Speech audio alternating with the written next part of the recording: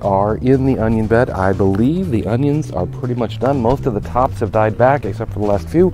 We're seeing some sizable onions in here and we are just going to go ahead and start to lift those out. Well, that's definitely a nice little onion there considering that we had no idea if they were going to grow at all.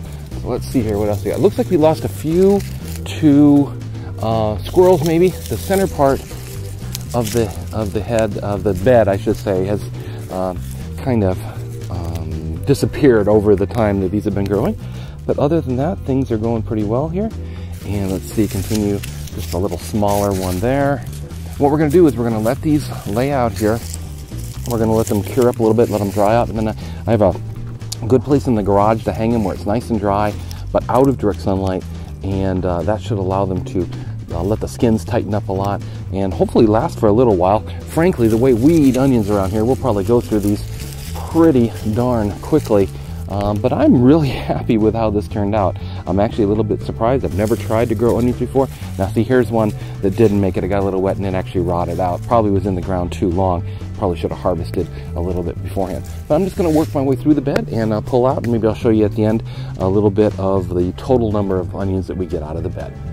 And so here are the onions I've pulled out. I've kind of cleaned the whole bed out here just to see. There were a few rotten ones in there. Perhaps they got a little too moist or whatever, but you know, some of them are fairly sizable. Um, this one doesn't look too bad. Got another bigger one here. Um, could have gotten a little bit bigger. Uh, definitely these are going to be edible though. So, uh, and then the smaller ones we'll just eat right away as, you know, part of salad or toss in a pot of pasta sauce or something like that. Uh, overall, uh, certainly had a fairly decent harvest here. I would uh, do it again for sure. I would plant onions in here again. Maybe I can do a little research and figure out perhaps, you know, what, uh, what might help them along a, bit, a little bit. Maybe something to do with the soil, maybe to do with the watering practices, uh, whatever.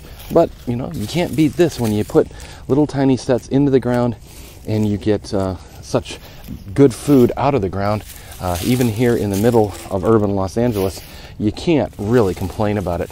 Um, there's actually more onions here than I thought there were.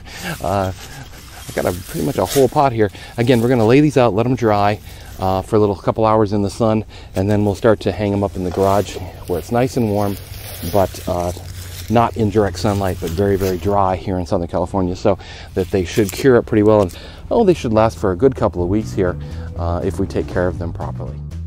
Thanks for watching. I hope you enjoyed this episode. For more information, you can always visit the website douglasewelch.com. There you'll find links to a gardener's notebook, our past videos, and everything else that we do. Hope to see you next time on In the Garden, and if you haven't checked out our other series, Container Garden Update, you'll find it on the same YouTube channel. Thanks again.